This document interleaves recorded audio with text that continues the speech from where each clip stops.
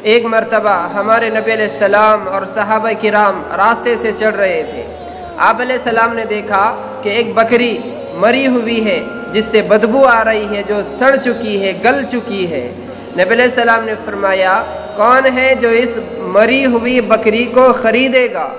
साहबा ने अर्ज़ किया अल्लाह के रसूल, इस मरी हुई बकरी को कौन कीमत में देकर ख़रीदेगा? हम में से तो कोई इसको फ्री में फुकट भी कोई ख़रीदने के लिए तैयार नहीं है। तो नबी सलाम ने फरमाया कि, ए मेरे सहाबा, जिस तरह तुम इस मरी हुई बकरी से घिन कर रहे हो और इसको फ्री में भी लेना पसंद नहीं करते हो, इससे कई दर्जे ज़्यादा अल्लाह पाक इस दुनिया से नफ़रत करते हैं और घिन करते हैं। इसलिए दुनिया से दिल न लगाना, बल्कि अपने आखिरत की तैयारी करना, आखिरत को संवारने की और आखिरत को बनाने की कोशिश करना।